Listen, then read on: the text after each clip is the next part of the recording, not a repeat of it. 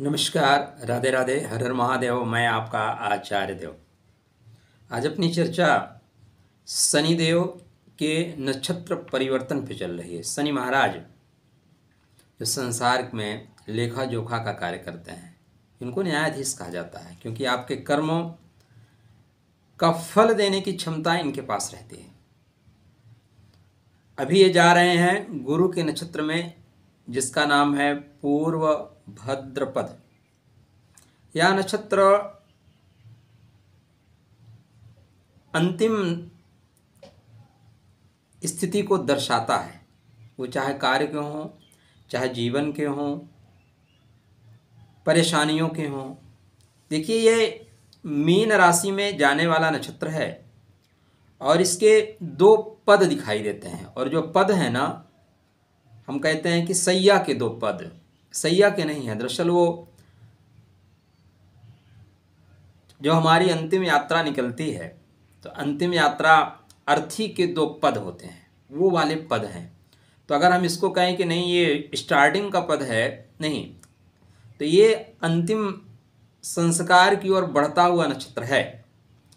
तो संसार से समापन की बात हो आपके कर्मों में अवरोधों को समाप्त करने की बात हो, परेशानियों को समाप्त करने की बात हो तो हर तरह से समाप्त करके नए अध्याय को आरंभ करने की बात यह नक्षत्र करता है। और शनिदेव भी यही करते हैं, दोनों की नेचर में। यद्यपि यह नक्षत्र गुरु का नक्षत्र है, यह नक्षत्र तीन पैर अपने यहीं पे रोक के रखा हुआ है और एक पद जाके मीन राशि में लगा के रखा है। तो यह जीवन के अंतिम दर्शन, आध्यात्म की खोज, दैवी शक्ति के प्रति समर्पण एक नई शुरुआत, एक नई ऊर्जा, अंतर्ज्ञान, आध्यात्मिक चेतना, रहस्यों को समेटकर परंपराओं, मूल्यों की बात करने वाला है। बहुत गहन अर्थों में इसका अर्थ है। तो कैसे फल देगा? आपकी राशि पे और आपके लगन पे, दोनों पे देख सकते हैं। इसमें शुभता है। पहला पॉइंट याद रखिएगा, पूर्व भद्र पद शुभ करेगा डेफिनेटली शुभ करेगा। हर जगह शुभ होगा। अगर आप परेशानी है तो परेशानियों को काट के अलग कर दिया जाएगा। शरीर में घाव है, कीड़े पड़ गए हैं, कीड़े को निकाल के फेंक दिया जाएगा। तो पॉइंट याद रखिएगा कि सब कुछ सुंदर होता है, बस आपके देखने का दृष्टिकोण हो। अगर आप अंतर्ज्ञान से अंदर से जग गए हैं तो आपको जलती हुई चिता भी सुंदर दिखती है, क्योंकि कोई जीव पंच तत्वों को पंच तत्वों में विसर्जित करके परमात्मा के धाम की ओर जाता हुआ दिखाई देगा। और अगर आपकी दृष्टि सीमित है तो फिर भय उत्पन्न होगा मित्र। तो यह करुणा की भावना आपके अंदर आएगी, दया की भावना अंदर आएगी, मंगल कार्यों को करने की भावना आएगी, शुभता की ओर बढ़ने की प्रबल संभावनाओं को लेकर चलने वाला यह नक्षत्र है। और शुभता का कार्य ये भी है कि चैनल को सब्सक्राइब नहीं किया तो सब्सक्राइब भी करके रखिए। कर लीजिए। वैसे बहुत लोगों ने किया है। सर्वाधिक सपोर्ट आपकी राशि, आपके लगन से मैं मिला है। इसीलिए मैं सर्वाधिक वीडियो कभी मैं बताऊँगा। एक लोग सोच, लोग कहते हैं कि इस राशि पे इतने वीडियो क्यों बनते हैं? बहुत गहन गहरा आध्यात्म है इस राशि वीडियो बनाने का। ज़रूर बताऊँगा। तो कलात्मक क्षमताओं में विकास होगा। प्रतिभा आपकी निखरेगी। ईमानदारी सत्यनिष्ठा को आप महत्व देंगे। आप थोड़ा सा आत्मनिरीक्षण करते हुए बढ़ेंगे। क्या करेंगे? आत्मनिरीक्षण करते हुए बढ़ेंगे। अंदर से शक्ति जो है ना, उठेगी। और ये चूँकि पंचम भाव का प्रभाव लेके चल रही है और शक्ति अंदर से सत्रह अप्रैल के बाद ज़्यादा उठेगी। तो नए चीज़ों को करने का है। चार तरह से प्रभाव देगा। क्या? चार तरह से प्रभाव देगा। पहला आप जो देखेंगे एक्चुअली चार तरह का प्रभाव नहीं मिल पाएगा। पॉइंट तो चार तरह का प्रभाव देने की बात कर रहा है, लेकिन ये दूसरे पदा में ही वक्री हो जाएँगे शायद। मैं चेक कर लेता हूँ। शनि महाराज छः अप्रैल को पूर्व भाद्रपद में प्रथम पदा में जाएँगे, सत्रह मई तक प्रथम पदा में रहेंगे, सत्रह मई को द्वितीय पदा में जाएँगे और अट्ठारह अगस्त को द्वितीय पदा में ही वक्री हो जाएँगे। और ये तीन अक्टूबर को फिर सतविशा में वापस आएँगे। तो नौ मार्च से तीन अक्टूबर तक का समय चलेगा। पहला पॉइंट आपको ये पता होना चाहिए। नौ मार्च से तीन अक्टूबर तक का समय शनिदेव गुरु जैसा फल देंगे। गुरु क्या करते हैं? गुरु ज्ञान के कारक हैं। गुरु मांगलिक कार्यों के कारक हैं। तो जीवन में मंगल होंगे। मंगल भवन अमंगल हारी अमंगल का हरण कर लेंगे। मंगल कार्य कराएँगे। मतलब कोई व्यक्ति इस समय बहुत कष्टों में था वो परेशानियों में था और जीवन की डोर टूट नहीं रही थी तो जीवन की डोर भी ख़त्म कर देंगे। भाई बहुत कष्ट हो गया। जाओ यार, इतना कष्ट नहीं झेलना है। या कोई पीड़ाएँ थी, कोई रिश्ते थे हाँ एक चीज़ को ध्यान रखिएगा। या चूँकि अंतिम वाला नक्षत्र है तो रिश्ते भी जो बहुत ख़राब हो गए हैं ना कभी कभी रिश्ते इतने मुश्किल हो जाते हैं कि जीवन जीने नहीं देते। बंधे रहते हैं और जब भी मौका मिलता है, तनाव देते रहते हैं तो ऐसे रिश्ते भी शनि तोड़ देगा। जो फालतू के सड़े, गले हुए रिश्ते हैं, दबाव हैं, वो शनि इनको तोड़ के बाहर कर देगा। बोलेगा, नहीं, इनको मुक्त हो जाने दो, इनकी कोई आवश्यकता ही नहीं है। तो शनिदेव यहाँ पे मेष और वृषभ नवांश का ही फल देंगे। कहाँ पे चल रहे हैं या चतुर्थ भाव में और ये गुरु महाराज के नक्षत्र का प्रभाव लेके फल देंगे, लेकिन नवांश में मेष और वृषभ का प्रभाव देंगे। मेष क्या है? मेष आपके कुंडली में ऋण, रोग, परेशानी, शत्रुओं से संबंधित है। अतः यहाँ पे शनिदेव जब जाएँगे मतलब 6 अप्रैल से शनि महाराज यह प्रयास करेंगे कि आपके जीवन में ऋण से, रोग से, परेशानी से फालतू के दबाव से या मुकदमाबाजी से आपको डिस्कनेक्ट कर दें, फालतू की चीज़ों को बोलेंगे, भाई, अब तुम जाओ। अतिथि तुम कब जाओगे? तो अब तुम कब जाओगे? उनको भेज देंगे। जैसे ये वृषभ नवांश में करेंगे तो वृषभ क्या है? वृषभ आपके व्यापार का नवांश है। तो व्यापार के नवांश में जाने के बाद आपके व्यापार में आ रहे अवरोध को दूर करेंगे, आपको व्यापारिक लाभ देंगे।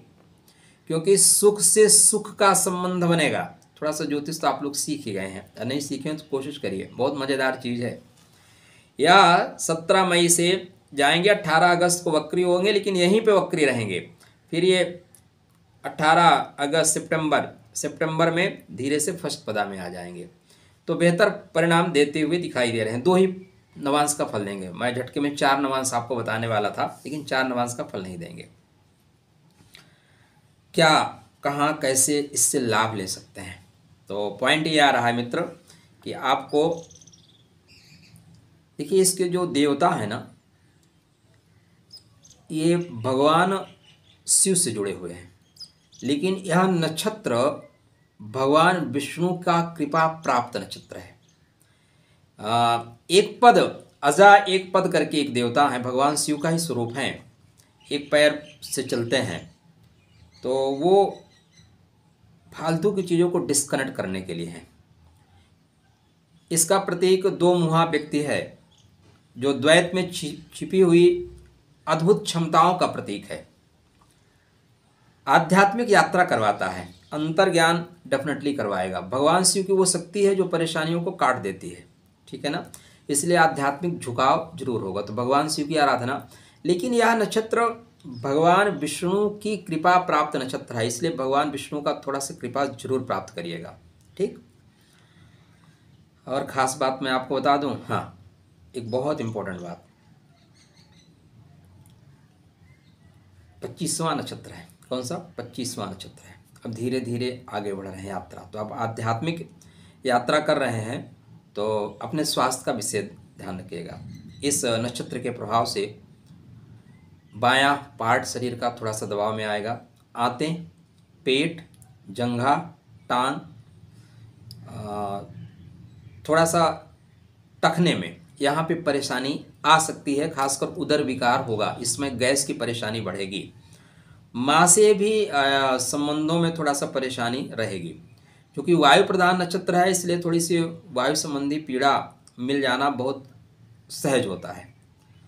तो इसके शुभता के लिए ओम अजय पदे नमः, या पूरा वैदिक मंत्र आप चाहें तो पूरा वैदिक मंत्र जाप करिए, शुभ परिणाम मिलेगा। आप नहीं कर सकते, ओम नमः शिवाय का जाप करिए और भगवान विष्णु के मंत्र का जाप ज़रूर करिए। शाम को सोते समय ना, विष्णु सहस्त्र नाम इस समय सुन के सोया करिएगा। अच्छे सपने आएँगे, अच्छी चीज़ें होंगी। एक और बहुत इंपॉर्टेंट चीज़। आपके राशि और आपके लगन पे क्योंकि अभी शनिदेव आपके भूमि, भवन वाहन के स्वामी हैं, पराक्रम के स्वामी हैं। और ये भगवान विष्णु की कृपा प्राप्त नक्षत्र में गोचर कर रहे हैं। अतः आप चाहते हैं कि भूमि, भवन वाहन से संबंधित चीज़ें। यद्यप मैं इस बीच देख रहा हूँ कि काफ़ी वृश्चिक राशि के जातक उन्होंने आवास की व्यवस्था कर ली है, वाहन की व्यवस्था कर ली है, या ज़मीन का टुकड़ा परचेज कर लिया है, परचेज करने की ओर आगे बढ़ रहे हैं। अब ये अलग बात है मित्र कि साठ करोड़ लोगों में से हो सकता है फिफ्टी परसेंट लोगों को ना मिल पाए, लेकिन मिलेगा आपको अवश्य। इसलिए यह सारे परिहार या जो उपाय हैं, उनको करने से लाभ तो होगा, ठीक है ना? डेफिनेटली लाभ होगा। अभी देखिए, धीरे से ग्रीष्म का मौसम आ रहा है तो भाई, अब आपकी ठंडी सबके साथ नहीं लगेगी। ठंडी नहीं लगेगी किसी को तो रजाई कम्बल है या नहीं है, लेकिन अभी आराम से नींद आएगी। तो घर का जो आपका मित्र डायरेक्शन है, एक होता है वास्तु। वास्तु आप लोगों ने सुना है आजकल। अच्छा आजकल बड़ा संभल के रहिएगा। मतलब ऐसे ऐसे एस्ट्रोलॉजर आए हुए हैं मार्केट में, जिनको सिर का पता नहीं और पूंछ का पता नहीं। उठ पटांग बयानबाजी करते हैं। कल ही एक भद्र महिला का लिंक मेरे पास आया। उस लिंक को मैं देख रहा था। लगा देता हूँ, अठारह बीस सेकंड का वीडियो है। ज़रूर देखिए। कितना उठ पटांग बयानबाजी कर रही है। लिविन कर्मा, सत्रह तारीख से जले कटे दिन शुरू है, होली के जले कटे दिन, जिनमें कोई भी शुभ काम नहीं होता। वैसे तो घर का महीना शुरू हो गया है और कोई भी मतलब मलमास इस चौदह तारीख से जब से मेष राशि में सूर्य ने प्रवेश किया है, तभी से हमारे सारे शुभ काम बंद हो चुके हैं। अब देखिए, इनको ये नहीं पता है, सूर्य मेष राशि में कब जाता है। कुछ नहीं, बस गाड़ी में बैठे हैं और फ़ैशन बन गया है ना। कुछ भी आजकल लोग कुछ भी बोल देते हैं। और अगर आप महिला हैं तो टिप टाप करके बैठी हैं तो भाई व्यूज़ बढ़ जाते हैं। अब मैं क्या कहूँ इन लोगों के लिए? तो ऐसे ज्योतिषियों से बच के रहिएगा। वास्तु का आजकल बहुत ज़ोर चला हुआ है। आपने इस दिशा में बना लिया ये तो हंड्रेड परसेंट आपको हो जाएगा हार्ट अटैक हंड्रेड परसेंट हो जाएगा कैंसर बड़ी अच्छी अच्छी फ़ीस लेते हैं लोग। मैं बुराई नहीं कर रहा हूँ, जो अच्छे लोग हैं उनको लेना चाहिए। वास्तु का मतलब वस्तु का सही जगह रखा होना। कौन सी दिशा में कौन सी वस्तु होगी? कहाँ पे आपको खाना खाना है, कहाँ रहना है, कहाँ सोना है, कहाँ बनाना है? ये तत्वों को आधार पे बनता है। जल तत्व की जगह, जल तत्व रखिए, अग्नि तत्व की जगह, अग्नि तत्व रखिए, वायु तत्व की जगह, वायु तत्व रखिए। बस सिंपल सा फंडा है। तो बहुत परेशान मत होइएगा, लेकिन यहाँ पे थोड़ा सा आप राशि, ग्रह नक्षत्र और थोड़ा वास्तु का भी सहारा लेना चाहिए। क्योंकि गलत दिशा में बैठ के अगर आप भोजन भी करते हैं ना तो पाचन शक्ति में कम परेशानी आ जाती है। कभी आपने सोचा, प्रातःकाल खुद दबा के खा लीजिए, पच जाता है दोपहर तक। सायंकाल चार पराठा खाइए ना, पेट खराब हो जाता है। ये इसी को वास्तु बोलते हैं। तो यहाँ पे घर का जो एक दिशा होती है, नॉर्थ, एक होती है ईस्ट, एक होती है नॉर्थ ईस्ट। नॉर्थ ईस्ट से लगभग सात डिग्री और नॉर्थ में आइए। नॉर्थ ईस्ट से थोड़ा और नॉर्थ में। क्यों? क्यों यहाँ पे आए भाई? आप पूछ सकते हैं, भाई, मैं क्यों आऊँ? इसलिए आप आइए कि आपकी वृश्चिक लगन है, वृश्चिक राशि है। आपकी कुंडली में जो हस्त नक्षत्र है, कौन सा नक्षत्र? हस्त नक्षत्र है। वो हस्त नक्षत्र की स्थिति जो बन रही है, हस्त नक्षत्र की स्थिति जो बन रही है वो नॉर्थ ईस्ट से सात डिग्री और नॉर्थ में आके बन रही है। और हस्त नक्षत्र, सॉरी, यहाँ पे मैं भी गड़बड़ कर गया। बहुत सी चीज़ें नहीं रहती। हस्त नहीं, उसको बोलते हैं श्रवण नक्षत्र। कौन सा नक्षत्र? श्रवण नक्षत्र। भगवान विष्णु का कृपा प्राप्त नक्षत्र है। तो श्रवण, इसीलिए मैं आपको बोला कि रात को सोते समय भगवान विष्णु का नाम सुन के सोना आपके लिए बेहतर होगा। ठीक? तो श्रवण नक्षत्र की कृपा अगर आप प्राप्त कर पाएँगे तो यह पूर्व भाद्रपद नक्षत्र की कृपा आपको हंड्रेड परसेंट मिलेगी। ये बहुत टेक्निकल पॉइंट है, सीखने वाली चीज़ें। यद्यपि श्रवण नक्षत्र गुरु का नक्षत्र नहीं है, वो चंद्रदेव का नक्षत्र है। लेकिन उस नक्षत्र पे अगर आप उस नक्षत्र की एनर्जी के कनेक्ट कर लिए तो पूर्व भाद्रपद की नक्षत्र की एनर्जी हंड्रेड परसेंट कनेक्ट कर पाएँगे। या राज की बात है। तो उस दिशा में भगवान विष्णु की एक फ़ोटो लगाइए, मुस्कुराते हुए। आप बहुत पॉजिटिव अपने आप को फील करेंगे। सकारात्मक एनर्जी आएगी और धीरे धीरे आगे बढ़ जाएँगे। तो अगर आप कुछ भी नहीं कर सकते तो दो उपाय ज़रूर करिएगा। एक तो ओम नमः शिवाय का जाप करिए। भगवान विष्णु का नाम लेते रहिए। उनके कोई भी मंत्र का आप जाप करते रहिए। शनिदेव श्रेष्ठ फल देंगे। बस एक ही चीज़ का ध्यान रखिएगा, कुछ चीज़ें टूटेंगी, कुछ छूटेंगी। और टूटना छूटने का सिलसिला मित्र, जीवन भर चलता रहेगा। हम अक्सर जिनको जोड़ने की कोशिश करते हैं, वो टूटते रहते हैं। एक बार टूट जाने दीजिए। जब वो जुड़ेंगे तो अच्छे से जुड़ेंगे। यहाँ पे क्योंकि सुख के स्वामी गुरु के नक्षत्र में चल रहे हैं और गुरु आपके कुंडली में धन के स्वामी है, प्रेम के स्वामी है तो धन की स्थिति बनेगी, प्रेम की स्थिति बनेगी। अभी वृश्चिक राशि में जैसे ये जाएँगे पूर्व भाद्रपद नक्षत्र में अनुराधा वालों के पास से साढ़े साथी सॉरी, ढैया खत्म। अनुराधा नक्षत्र पे ढैया खत्म हो जाएगी। हाँ ज्येष्ठा वालों पे रहेगी। मौका मिला तो स्वतंत्र वीडियो बना के दूँगा। राधे राधे, खुश रहिए, स्वस्थ रहिए, मुस्कुराते रहिए। तनाव नहीं लेना है, जान लेना मतलब परेशानियों पर विजय प्राप्त कर लेना। आपका शुभ हो, कल्याण